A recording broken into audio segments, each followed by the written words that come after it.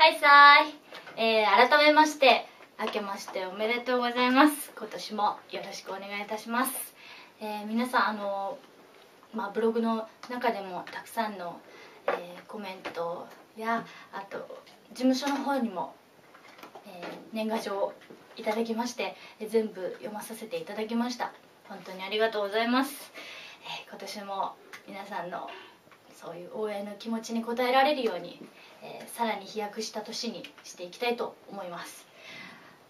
あとですねさらに抱負を言うとうんできれば今年中に舞台なんかも挑戦できればいいなと思っています。まだそういうお話があるわけじゃないですよ。私の気持ち的にです。なんかこう自分が今まで経験したことないジャンル段階にちょっとこう自分をステップアップするために挑んでいきたいなっていう思いがあります。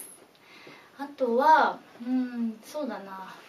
去年は割とこう仕事仕事でこう仕事入っちゃうと本当こうストイックになりすぎちゃってなかなか友達とも会えなかったりうんしちゃってたので今年は、うん、友達にも会いたいですしなんかこう少しどこか仕事も頑張りつつもそういう周りの人たちと会ったり何かこう趣味をなんか没頭したりどこか余裕を持ちたいなっていうふうに思ってます。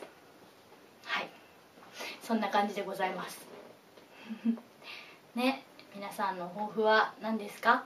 もしよかったらコメントでも教えてください。それではそんなわけでえー、今年一発目の動画ブログでした。それではまた更新します。じゃあねー。はーい。